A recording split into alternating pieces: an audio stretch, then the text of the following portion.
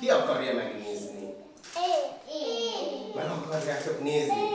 Mit rejthet az orvosi táska? Tette fel a kérdést Abdul doktor a Mária falvai óvodába járó gyermekeknek. Orvosi dolgok. Orvosi dolgok! Nagy.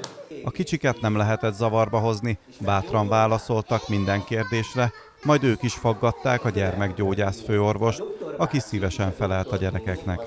Lehet megöleljük egy gyereket, és megnyugtatjuk, megmondjuk neki, hogy nem csinálunk semmiféle rosszat neki, csak segítünk.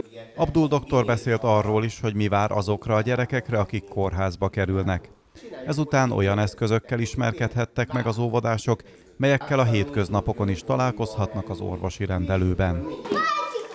Alszik, igen, meg szoktuk vele nézni, hogyha fáj valakinek a torka. Igaz, hogy a fáj ezzel, és kikér ebből egyet,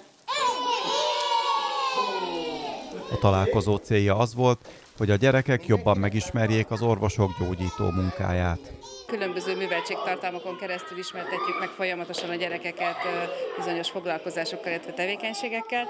Így volt ez a múlt héten is, amikor az orvos munkáját ismertettük meg a gyermekekkel, miközben rájöttünk arra a beszélgetéseink, illetve tevékenységeink során, hogy a gyermekeknek sajnos nem mindig pozitív tapasztalataik vannak az orvosok munkájával kapcsolatban. Sajnos saját betegségeik kapcsán mondták ezeket a gyermekek, ezért úgy gondoltuk, hogy mivel szeretnénk őket pozitív élményekhez ö, juttatni, illetve szeretnénk, hogy az orvosok munkáját is pozitívan értékeljék, ezért úgy gondoltuk, hogy elhívjuk hozzánk Gyulaváros méltán ismert és kedves doktor bácsiját, hozzánk, aki szeretettel el is vállalta ezt a feladatot, és most ellátogatott hozzánk, és egy interaktív délelőtt kapcsán megismerteti a gyerekeket az ő munkájával, illetve eszközeivel. A foglalkozás ideje alatt a gyerekek közelebb kerültek ahhoz a gyógyító munkához, melyet az orvosok végeznek.